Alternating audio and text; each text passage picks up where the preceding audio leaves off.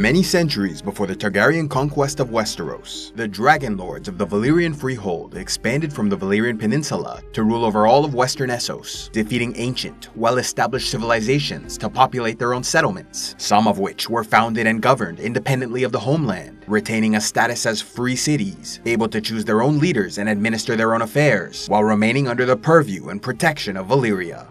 Though other cities of western Essos earned great wealth and fame, such as Mantarys, Voluntheris, Oros, Tyria, Draconis, Elyria, Misafair, Rhyos, and Aquos Dhaen, they were all governed directly by agents of the Freehold, and did not retain the influence and long-term viability of the nine free cities.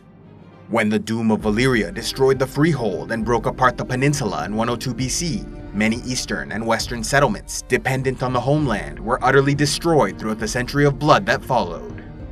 Some of the few settlements to survive these bleeding years were the nine free cities of Essos, which nonetheless suffered many hardships and wars, but also adapted to the changing times, relying more heavily upon trade routes to their nearest neighbors like the Summer Isles and Westeros, with some of these city-states developing political and military ties to the Seven Kingdoms. The oldest of the free cities, Volantis, first daughter of Valyria, was founded as a western military outpost sometime after the conquest of Old Gis in the east. Taking advantage of the protection offered from such a settlement, wealthy merchants used it as a trading post between the Valyrian Peninsula and Rhoynar city-states, growing increasingly wealthy in the following years. Emerging victorious in the Rhoynish Wars, the Freehold eventually wiped out their northern neighbor, leaving Volantis as the most influential and powerful city of the region. Following the doom of Valyria, Volantis considered itself the natural successor to the Freehold, sending a fleet to reconquer the shattered remnants of the Valyrian Peninsula, which then vanished in the Smoking Sea. Failing to assert their authority, Volantis next marched their armies and sailed another fleet to successfully conquer the free cities of Myr and Lys, before moving on to Tyrosh, where their dreams of expansion were crushed by the combined efforts of Tyrosh, the rebels of Lys, the rebels of Myr, the Stormlands of Westeros, the Targaryens of Dragonstone, Pentos, and Braavos, as well as Qohor and Norvos, which allied to defeat them in the north. The Dothraki horse lords of central Essos then took advantage of the chaos by raiding Volantene towns and villages in the east. Proud of their heritage, only those of Valyrian descent were permitted to live within the 200-foot walls of fused black stone, while others could only enter by invitation. Divisions such as these aided in creating a deep political divide between the prestigious, old money aristocracy and the new money merchant class, further displayed in their political parties, with the noble and military aligned tigers opposed to the merchant allied elephants. Ruled by three triarchs, which each served a one year term, all freeborn landowners were eligible to vote in elections that were usually peaceful but involved aggressive campaigning and bribery. Inventing the famed board game cyvasse, the port of Volantis served as a lucrative gateway to Slaver's Bay and the Jade Sea in the east, trading heavily in slaves as well as silk, spices, sweetmeats, and sweet red wine. A notable figure from Volantis was the Fool Patchface, serving under King Stannis Baratheon, a mentally impaired man who may have possessed the gift of prophecy.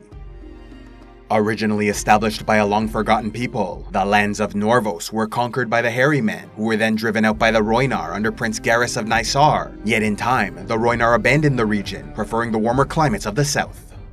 Seeking to escape the religious tolerance of the Valyrian Peninsula, a sect of extremists following bearded priests migrated to this abandoned settlement and founded the city of Norvos pledging allegiance to the freehold while retaining their own leadership structure. They established a strict theocracy administered by a council of magisters, whose members were chosen by the bearded priests. Worshipping a mysterious god whose name was only revealed to initiates of the priesthood, the city came under threat from the Andals of the Lorathi Isles when King Qarlon the Great attempted to expand his empire southward.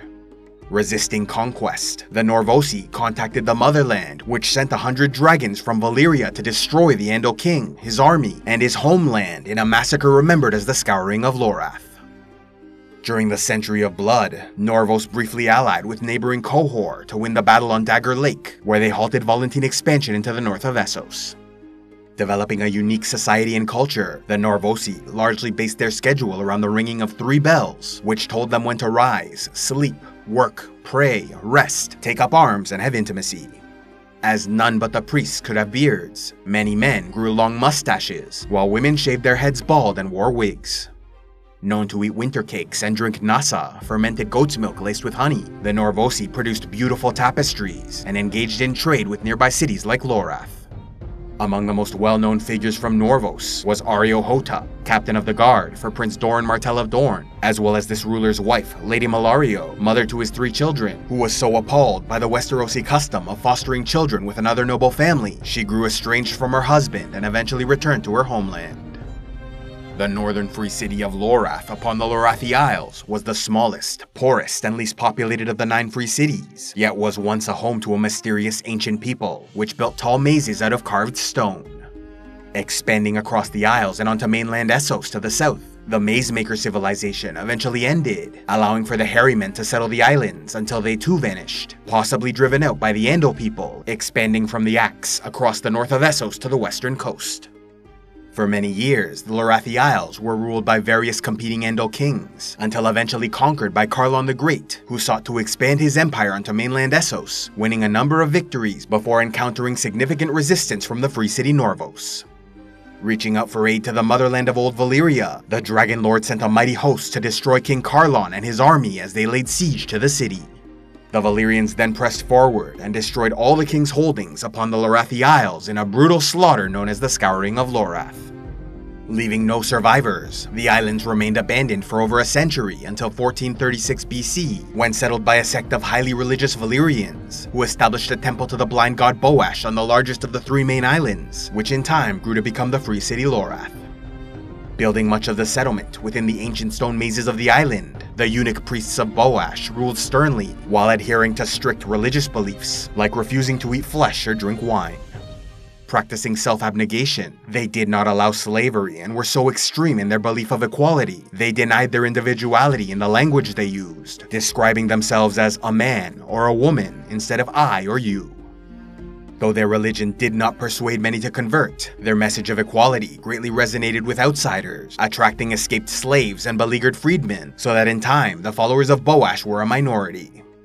By about 700 BC, the ruling faction of religious priests grew so corrupt the people rebelled, establishing a new society and leadership structure headed by a harvest prince, fisher prince, and prince of the streets, though these were largely ceremonial positions, as true authority rested with a council of magisters exporting salt cod, walrus tusks, seal skins, and whale oil. Lorath had few soldiers or warships, and so largely remained isolationist in their ambitions, rarely interfering in the affairs of others while trading mostly with their nearest neighbors. A known figure from Lorath was the faceless assassin, Jaqen H'ghar, who killed three men for Arya Stark and invited her to Braavos where she might find the Temple of Black and White.